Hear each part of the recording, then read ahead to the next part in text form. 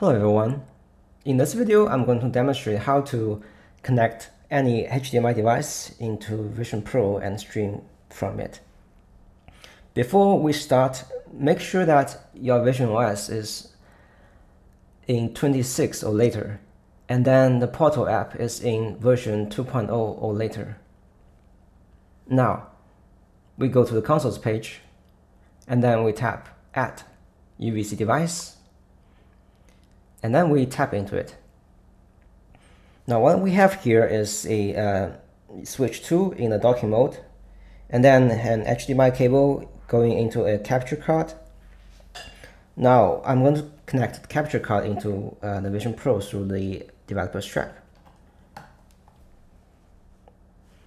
Now once it's connected, I can then turn on the switch 2 Now uh, we have the screen here and then we can just uh, play as if we are playing on the TV.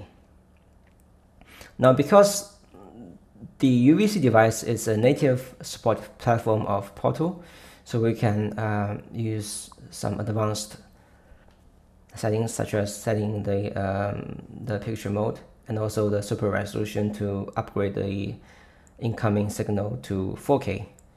Um, and then we can also use the um, immersive mode. And in this mode, we can adjust the screen size as we wish uh, from this big to this small. Now, due to the current limitations of the Apple API, um, only video signals can be captured. But I'm pretty sure that in a future update of the uh, API, we can capture the audio as well. Okay, so that's how we connect any HDMI device into Vision Pro and stream from it. Thanks for watching.